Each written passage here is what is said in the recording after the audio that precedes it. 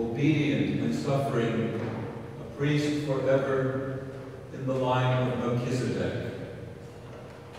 This is echoed also in the words of the Lord, words both encouraging and challenging. It is I who call you, no longer slaves, but friends. Have in yourself the same love that is mine. You too lay down your life for your friends. Should this not be our first thought in the morning, our last prayer at night, and our constant prayer throughout our days? Is this not what we celebrate each time we gather around this altar? Is not this self-giving love what we proclaim as we eat and drink the body and blood of the Lord?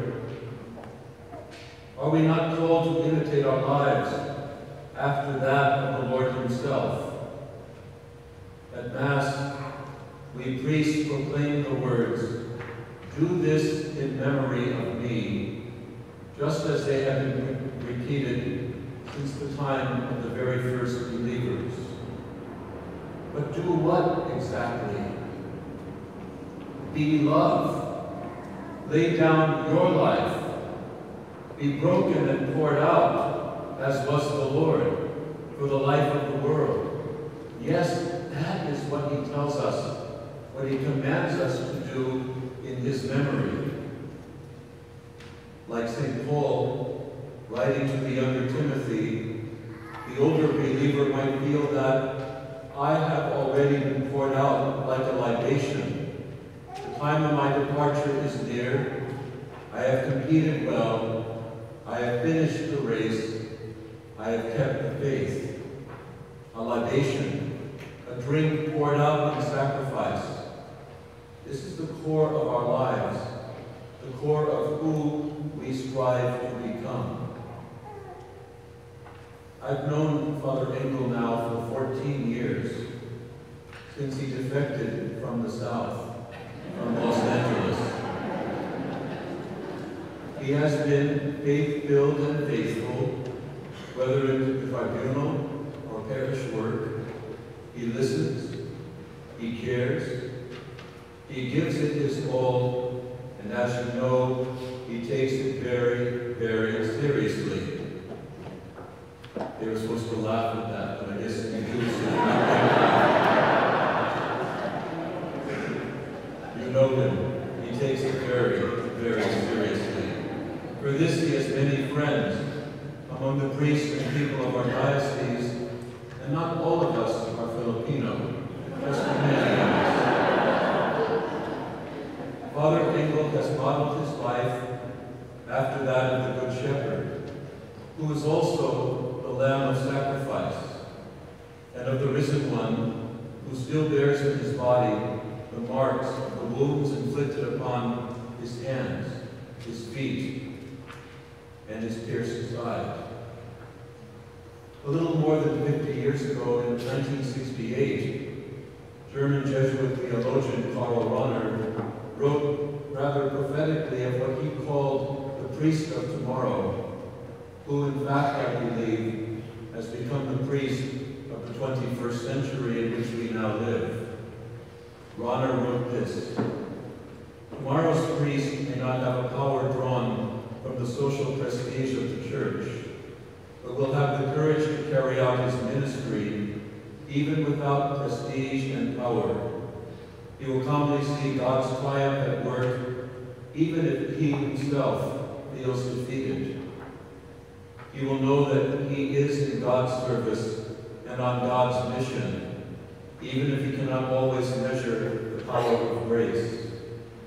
This priest will be a man whose vocation is his life, and whose life will be to believe and hope and love from his own innermost experience of God and God's grace.